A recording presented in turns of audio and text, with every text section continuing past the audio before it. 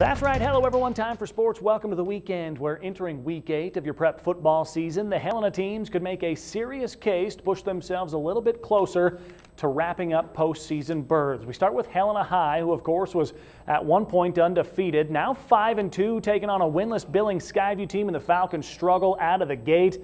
The very first possession, they fumble the handoff. Bengals land on it, and Ty McGurran and Zach Spearoff hook up for the touchdown right here. Four third downs, including the third and 19 right there for the score, and it doesn't get any better for the Falcons. How about the punt? The snap goes out the back of the end zone. So just like that, it's a safety, and it's 9 0 nothing, and Helena High's not done yet. Logan Brown taking the shovel pass, and he comes to the near side past that Skyview defense. 16 nothing.